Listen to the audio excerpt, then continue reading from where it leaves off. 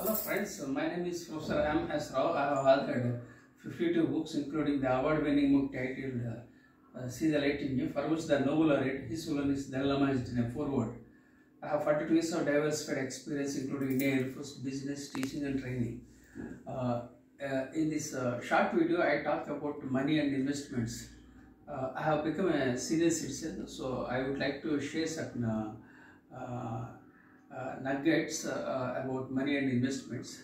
Understand the difference between active money and passive money, and uh, you have to think big, you have to dream big, and you have to act big, and uh, uh, don't cut corners. Be ethical and be mindful, and uh, be rational, not uh, emotional.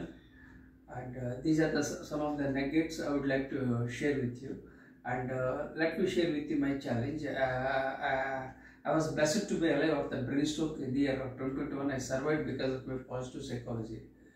And uh, uh, the message is very simple and straight. Uh, age is just a number. Age gracefully. Thank you for subscribing to my YouTube channel.